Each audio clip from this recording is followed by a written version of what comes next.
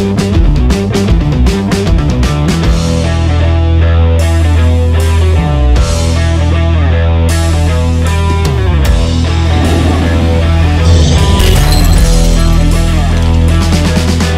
guys, welcome back to Predatory Fins.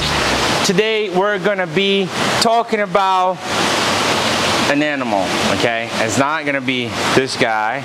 It's not gonna be this guy. It's not gonna be this guy or any other fish in here, okay? Actually, before we go that way, let me uh, let me finish this guy real quick. Sorry.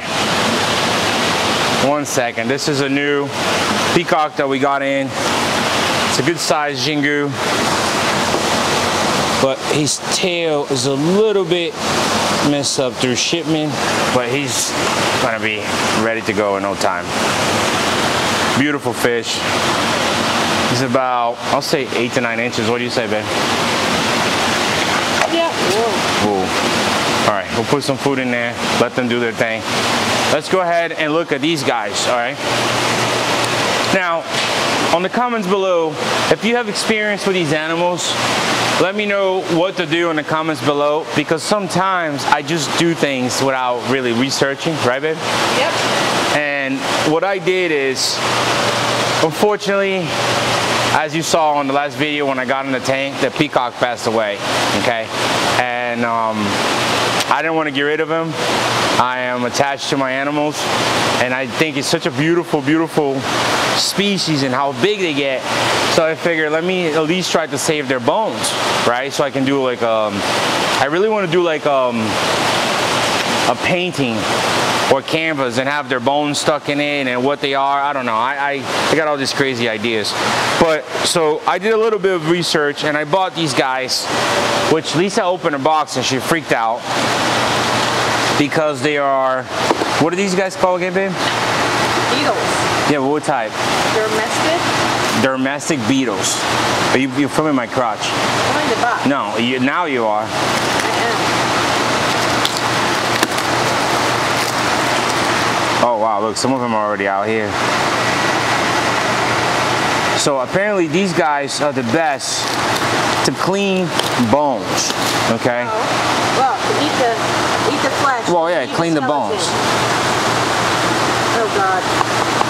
Don't open it. They're ever gonna go everywhere. They're not gonna go everywhere. Yeah, one's already over here. Just take them. I'm gonna put them all over here. We got this big 55 gallon. And it might be too big for them, but I just wanna see. I didn't have another tank. Oh, damn it. If it was another bug, you'd be killing it right now. Don't kill my guy. Come on, dude. Come on, man. Get up there. They look so weird. Into the thing. Oh, he just bounced right out. Here, look at your face. Okay. I hope they don't they don't crawl out. They might crawl out. What the fall heck is that? With the white dots everywhere. That's probably one of them. A larva. All right. Well, I was looking at these uh, instructions, Yeah, they stink. and they send these water crystals. Okay, and I think this is the way they get water.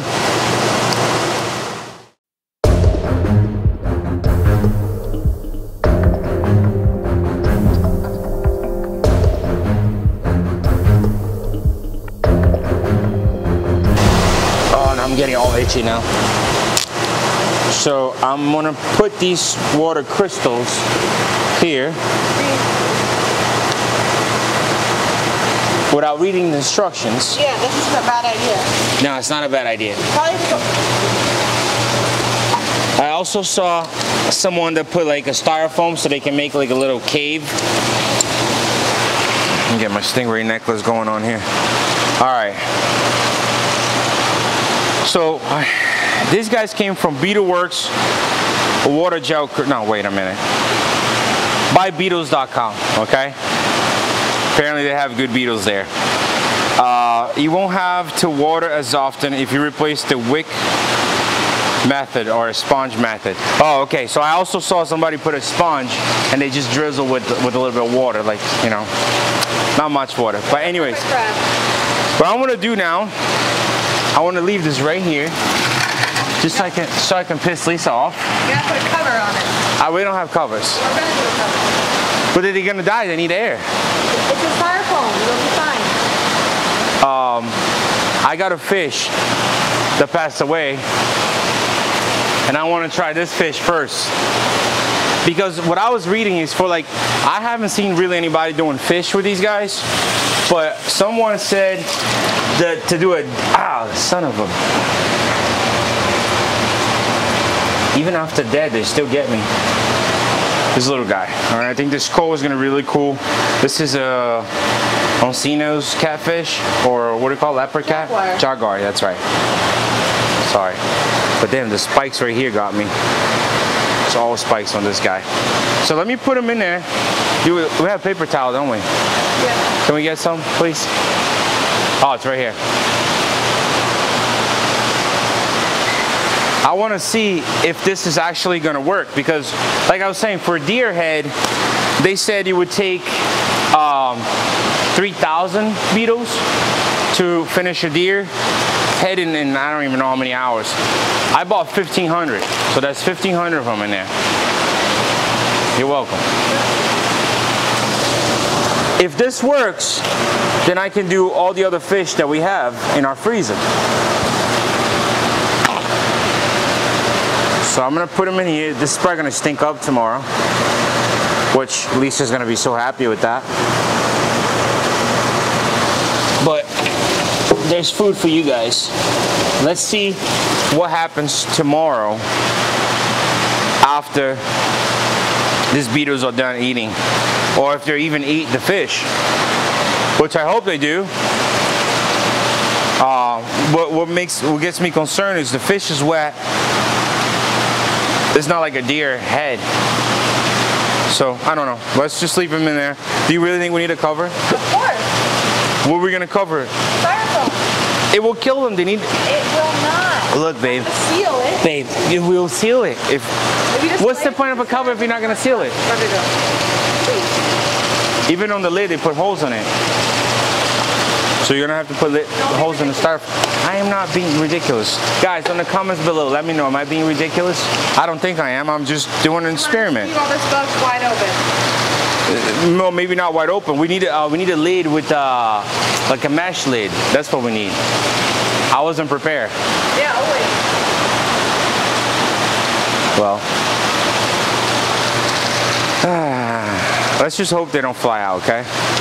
They fly?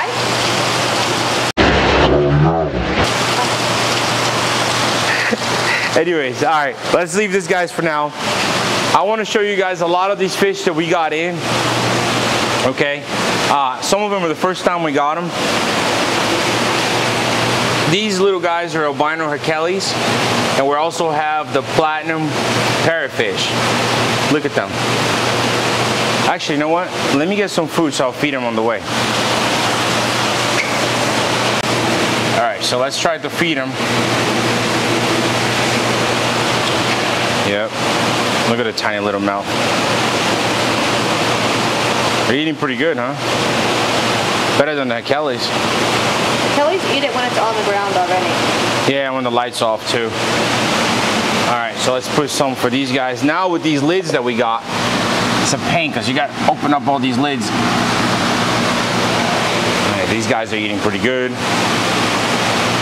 Probably can get better, bigger pellets. These little Emma Oscars, we gotta power them up. Over here we have the clown loaches. They eat pellets as well.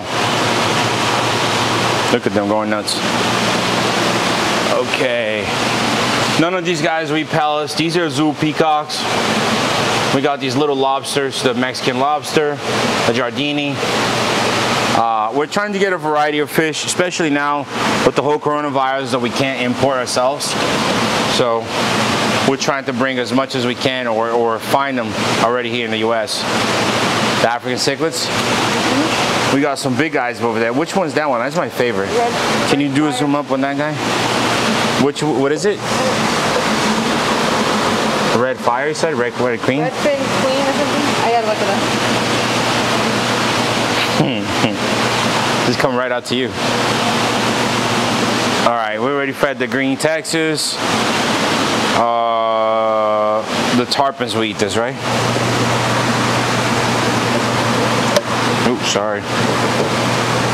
These peacocks, man, cowberries, they'll go for whatever. All the golden mahseers are there, eating really good. Okay, so now this guy here, silver dollars. We got a really pretty um, red-tailed barracuda back there. Can you see it? Yeah. It's about six, seven inches. Cameraman, come on. Another fish jump on my front. Okay, now this tank right here is a bunch of babies. We have this beautiful mascara barbs. They're coming out really pretty. Uh, I didn't know how pretty they were until like this one started growing. And then these guys are the Kelberi peacocks babies. And then we have the Leporinus, the Fasciatus, and albino clown, regular clown. Right? Yeah, they're hiding back there, but they're there. All right, well, let's put some pellets in there.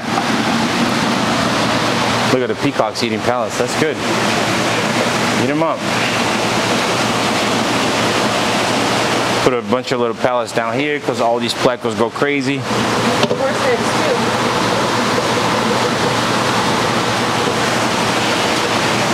The marinade. I don't know, the Marinade peacocks, I feel like that they, look how pretty that one is. That one's growing faster than all the other ones. And he's gonna be a beast. But like, I feel like that these guys, they, they bite the pellets and they spit it out. Horse heads go after them. Yeah. But we're gonna have, after we're done, we're gonna have to cut like pieces of tilapia and frozen feeders to feed them. You got this beautiful flower horn over here with all these guys. The cupids. And which one's this one again? Nicaragua, okay. And we have this giant little gouramis. They're pretty cool. I like them when they're big though. No pun intended.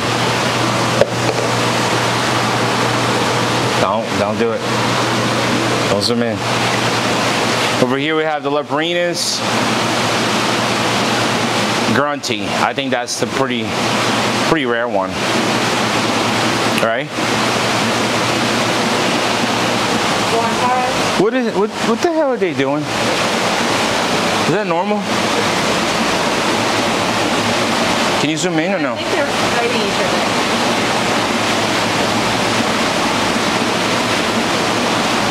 Okay, let's let's break up that fight because I don't know if they're fighting or if they're doing something else, and this is not allowed on this YouTube channel here. All right, guys, come on, CCTV. Break it apart. I don't know if they were fighting. I can't tell. That's not how we fight. All right. No pallets for these guys. No pellets for the peacocks. These are all gonna be food now. Now this little guy right here, guys. This, by the way, this is my grow out tank, right? Lisa always goes crazy on camera. Uh, our big grow out tank right here, we're doing the trying to breed the peacocks. So what I noticed is, and I did it on purpose. See these rocks? I put a bunch of uh, gravel on it to see if the peacock would clean. And look how clean this one is on the side here. You see it? It looked like it just pushed over. Come from the side and be able to see it. So I hope that that's a good sign. Right there. Let's see. Let's see what happens. So we're power feeding her, or both of them. He's actually eating frozen as well. Hopefully soon we'll be able to tell if we got babies or not. The golden dorados love pellets. Actually, they'll eat anything.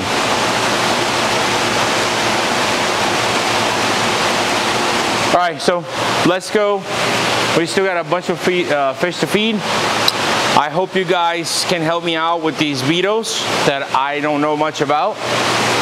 And, uh, oh, oh yeah, they're already eating it. Look at it. That's what's up. I think I did something right there. we'll find out. We'll find out. So I'll keep you guys posted. If that works and you want to save your fish forever, boom. What it? dumb bundle bee beetles? What is it? Dungle? We'll put it we'll put it right down. Right now, I'll put the name on it. Uh, and also, guys, since this whole coronavirus is slowing everybody down, we can't make this tank a saltwater tank. And two, we actually get the fish coming in. So what I'm gonna do, I'm gonna fill it back up. And uh, once this is all done, hopefully soon, we can go ahead and uh, make this tank a saltwater tank and have sharks, stingrays, groupers. Uh, I'm really excited for this tank to see what we can do in here. All right. Hope you guys enjoy. Like I said, in the comments below, let me know about that. Uh, the beetles. And um, wait, I want to give this away. I want to give it away for a nice kid because I'm not going to wear it anymore. stingray necklace, all right? I wanna find someone on the comments below that I can ship this to with the fish order, okay? Just buy some fish and I'll ship this to you. See you guys next time.